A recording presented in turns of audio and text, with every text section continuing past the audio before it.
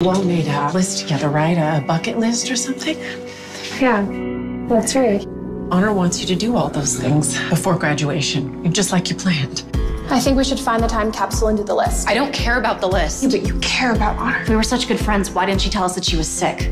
Yesterday, Honor's mom said we knew her, and no one else did. So I have to do this list. And if you loved her, you do it with me. Six. Perform at an open mic night. You going on? No. Yes. My name is Sophie Stevens, and I'm a virgin. Can't believe you were ever friends with her. My mom cheated on my dad. She sucks. Breath test. Get back at the Morissettes for the jiggle test. Way to go. Jello. This one isn't just for Honor. It's for you. I can wear or not wear whatever I want.